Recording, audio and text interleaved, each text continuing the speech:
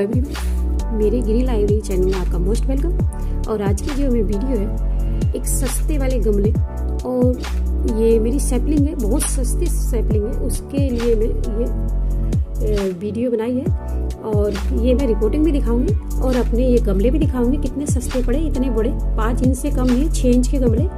और ये सैपलिंग भी, इसमें कई सारी है ये देखो, ये कैलेंडोला की है सैपलिंग और कितने सारे प्लांट है इसमें। ये मैं कहाँ से लाई हूँ, ये भी बताऊँगी और कितने की लाई हूँ, ये भी बताऊँगी।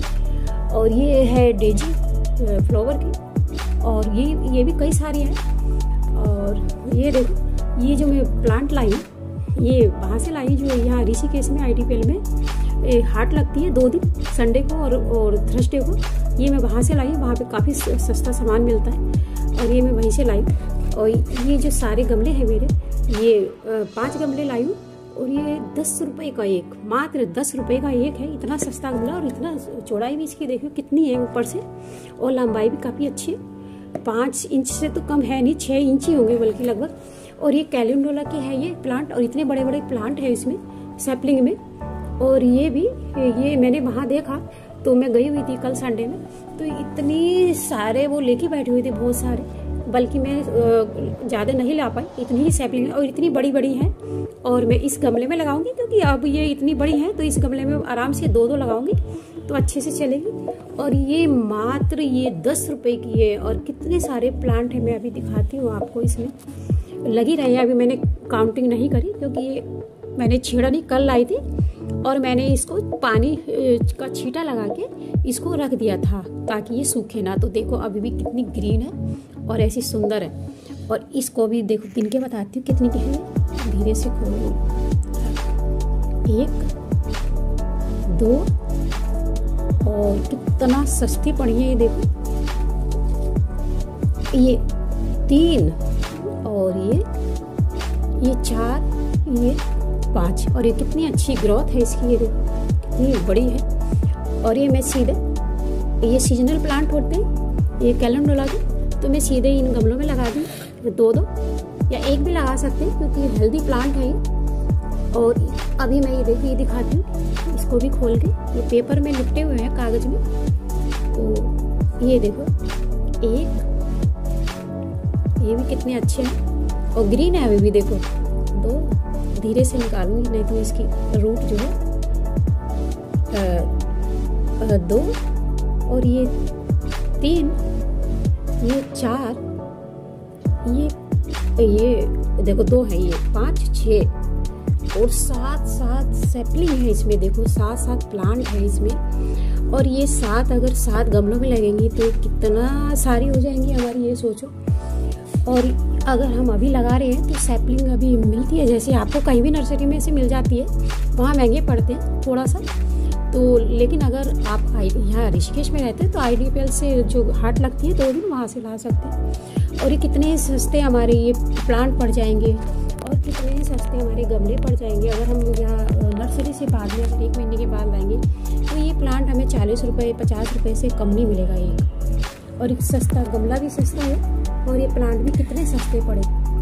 अगर आप लाना चाहें तो ला सकते अब मैं इसकी रिपोर्टिंग करूँगी। अब ये विंटर प्लांट है, ये सीजनल प्लांट है तो मैं इसमें, इसको लगा दूँगी। और ये मैंने ये सोयल तैयार की है, ये मैं बताती हूँ मैं आपको। और ये देखो, ये मैं वैसे ही बनाऊँगी, इसका रेशो सोयल का जैसा मैं बनाती हूँ। एक पार्ट सैंड एक पार्ट ये कोकोपीट एक पार्ट ये बर्नी कंपोज या कोई भी कंपोज और एक पार्ट सोयल गार्डन और दो मुट्ठी, ये चार गमले छोटे छोटे हैं, ये पाँच तो दो मुट्ठी मैं इसमें नीम खाली ले लूँगी और एक फंगी साइड मैंने डाला हुआ है, एक चम्मच भर के अच्छा सा। ये सब डाले हुए हैं। और इनको अगर हाँ आप चाहे, अगर आपके पास कोकोपीट नहीं, वैसे तो ये आराम से मिल जाता है, कहीं भी नर्सरी में या कहीं भी दुकान पे ले सकते हो। तो ये अगर नहीं डालना चाहते तो ये आधा डालना चाहो तो आधा भी डाल सकते हो, क्योंकि ये पानी को होल्ड करके रखता है। गर्मियों में तो बहुत ज़रूरी होता है। जैसे चावल की भुस्सी या ये कोकोपीट। लेकिन आप जाड़ों में इसको स्किप भी कर सकते हैं या आधा हो तो आधा पार्ट भी कर सकते हैं। अब अब मैं इसको लगाऊँगी। ये मेरे गमला है। देखिए, इसमें हमें लगाने से पहले एक तो इसमें वैसे होल तो आते हैं, लेकिन हमें फिर भी उसमें थोड़े से ये छेद करने पड़ते हैं। निशान होते हैं या छेद करने पड़ते हैं। मैंने देखो, ये होल कर लिया ये ड्रेनेज होल बहुत ही ज़रूरी होते हैं। चाहे गर्मी में लगाए या जाड़ों में, किसी भी सीज़न में लगाए पोट में सबसे पहले होल ज़रूरी होता है।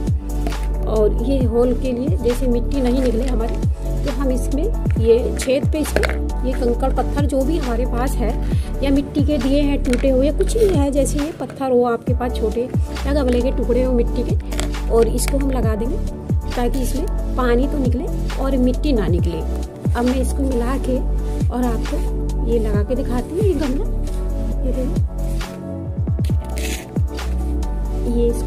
गमले में? मैं भर रही हूँ। अगर आप भी सेपलिंग लेना चाहते हैं तो आप ले सकते हैं।